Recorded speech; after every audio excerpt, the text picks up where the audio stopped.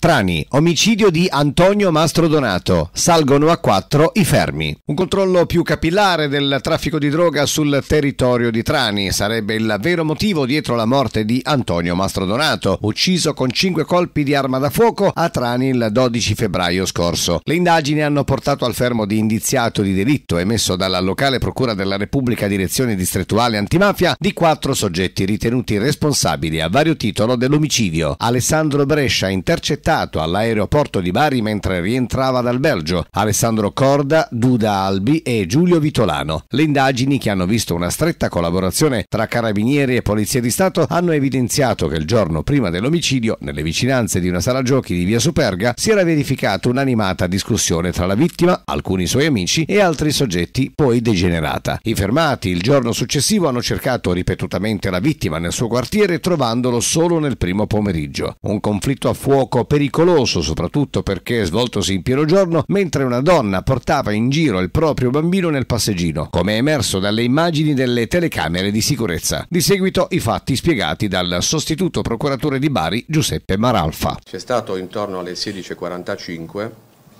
poco prima, 16.42, 16.43, un primo conflitto a fuoco sotto i portici di via Superga, angolo via Parini che hanno visto eh, fronteggiarsi da un lato Vitolano Giulio arrivato d'improvviso, lì portato in macchina da Alessandro Corda, eh, la macchina guidata da eh, Duda Albi, e dall'altro lato, eh, appunto in conflitto a fuoco, Brescia Alessandro eh, e il Mastronato.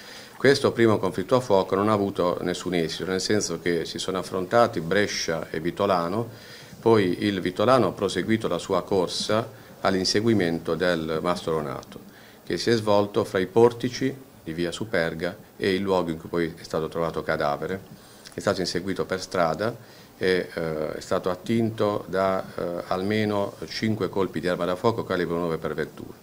E, il dato interessante è che mentre il Vitolano eh, fuggì, inseguiva il Mastronato in fuga, lo ha fatto per circa 50-60 metri, appunto la distanza che separa i portici dal luogo in cui è stato trovato il cadavere, a sua volta il Vittorano è inseguito dal Brescia, che arma in pugno, una volta eh, che il Massolonato è stato atterrato, ha tentato a sua volta di uccidere il Vitolano, ma l'arma si è inceppata. Le accuse sono di omicidio, tentato omicidio, porto e detenzione di arma clandestina aggravati dal metodo mafioso, di cui all'articolo 7 della legge 203-91, e dall'essere soggetti sottoposti alla sorveglianza speciale.